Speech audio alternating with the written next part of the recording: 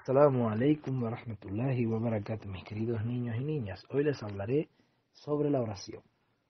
Primero que todo debemos de verificar que nos encontramos en estado de pureza, tanto nuestro cuerpo como nuestra ropa, como el lugar donde haremos la oración. Luego nos orientamos hacia la Qibla, que queda en la Meca. Ponemos la intención en el corazón de que vamos a realizar la oración. Hacemos el primer takbir, Allahu Akbar, mientras subimos nuestras manos hasta la altura de las orejas. Luego ponemos nuestras manos, la derecha sobre la izquierda, a la altura de nuestro pecho. Recitamos del Corán el primer capítulo, el Fatiha, es obligatorio en cada rakat. Y luego lo que sepamos de Corán.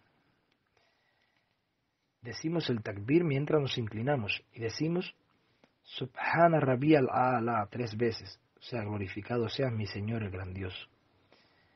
Luego nos, enderezamos otra vez mientras decimos Sami Allahu liman humida.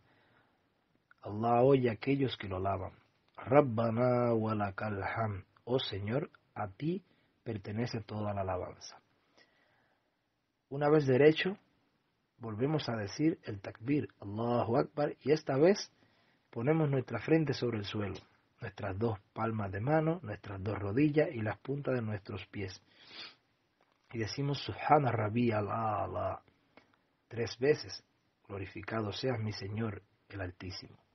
Decimos el takbir, Allahu Akbar, y nos quedamos sentados mientras decimos Rabbi Firli, oh Señor, perdónanos tres veces. Luego volvemos a repetir Allahu Akbar, ponemos nuestra frente sobre el suelo y decimos Subhana Rabbi Allah, glorificado seas mi Señor el Altísimo. Luego decimos Allahu Akbar y nos ponemos de pie y hemos terminado una unidad de rezo. Luego volvemos a hacer repetir la misma acción hasta culminar y sería una segunda unidad de rezo. Y ahí hacemos el tashadu, el testimonio. Luego de esto, hacemos el taslim o saludo final, donde decimos Assalamu alaikum wa rahmatullah a la derecha, Assalamu alaikum wa rahmatullah a la izquierda. Si la oración es de tres rakat, en el segundo rakat hacemos el primer tashadu y completamos después del tercer rakat, los hacemos completo, el primero y el segundo tachado. Y al final, Assalamu alaikum wa rahmatullah a la derecha, Assalamu alaikum wa rahmatullah a la izquierda. Si la oración es de cuatro rakat, en los dos primeros rakat hacemos el primer tachado. Y en los dos últimos rakat hacemos el tachado primero y el segundo completo. Y al final, Assalamu alaikum wa rahmatullah Assalamu alaikum wa rahmatullah.